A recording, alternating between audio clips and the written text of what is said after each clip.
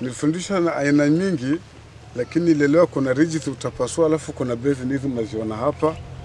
Nimeelewa ni kitu gani kitanifanya niokoe uchumi wangu kulingana na mapato. Sasa napasua basin, kwa sababu basin ukipiga maji unaweza kaa wiki tatu kabla ukipiga maji na itakuwa maji hayajatoka, lakini ridges zitakuwa zinakauka maji kwa hivyo utapiga every week, ambayo nimeona ni kitu kitani cost zaidi kulingana na ile mvile nimeonyeshwa ikawa nimeenda nimepaswa rije basi ni hivi na ninalima na ninapata ninachopata. Mnaona hii mahindi yote imekaa hapa, ninatumia hiyo elimu mlifundishwa nao watu wawili, yani hizo mashirika mbili KFR na IAS, na sasa ile naweza sema njaa kwangu hakuna.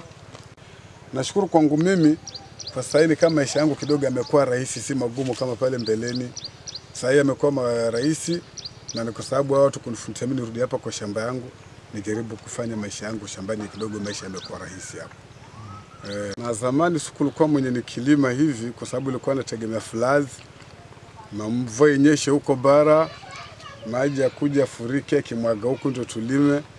Lakini kwa saa hii walipokuja watu wakanifundisha, nikawa mwenye kuelimika, nikawa naendelea na hii shughuli mnaiona hapa, na nilifundishwa aina tofauti tofauti ya kuhold maji zaidi na kufanya nisimtie gharama zaidi.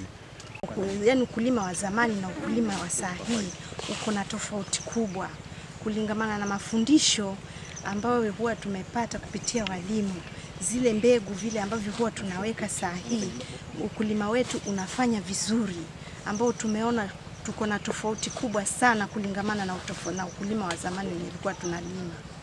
E, kwa sababu sasa saa hii tumefundishwa kwamba ukiweka box kwa shamba yako ukija ukipiga maji ukiweka ile maji ina store kwa muda ya kwamba u, ule mmea wako uko pale ndani unaweza kaa vizuri kwa muda kadhaa, tofauti na pale zamani vile ambavyo ilikuwa tunalima, kwa sababu zamani ilikuwa tunaweka tu ridges pengine ambazo ridges, kumbe tumegundua ya kwamba kulingana na mafundisho zile ridges hazistore maji vizuri.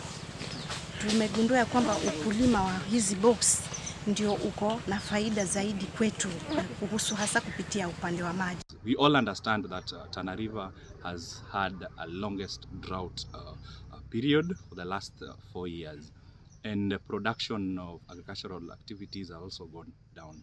But with these kind of technologies, farmers have been able to do small irrigations uh, around. As you can all see uh, that all these inputs around here is a result of small irrigation uh, technologies.